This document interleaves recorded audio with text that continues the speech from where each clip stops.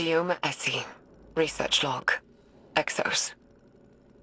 Maya and I have built a working theory around the deaths of our Exo crewmates after their exposure to the Veil. According to Maya, Exominds contain a combination of Vex radiolaria and something known as clarity. Radiolaria are alien microorganisms living within a hive mind state. Or, I suppose more accurately, a community. Clarity is... Maya described it as a paracausal power derived from an alien artifact. Something Braytech had kept secret. Something Maya...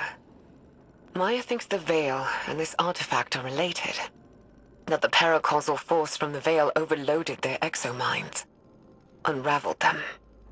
It's like taking a powerful magnet to an archaic magnetic storage device. Full erasure. But Maya... She thinks we can reverse engineer this phenomenon. Use it to write data to a clarity-infused object.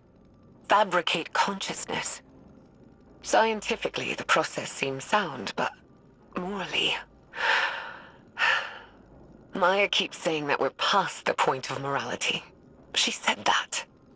She's convinced that our survival hinges on mastery of the Veil. It's like she's the one unraveling. I feel like I'm losing her. But every time I try and push, I feel her move a little further away. I'm...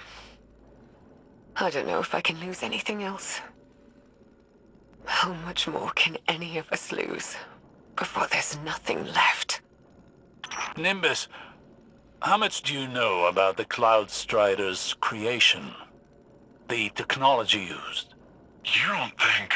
I, I make no assertions yet. But I worry that your neon-lit city may have darker roots than either of us knew.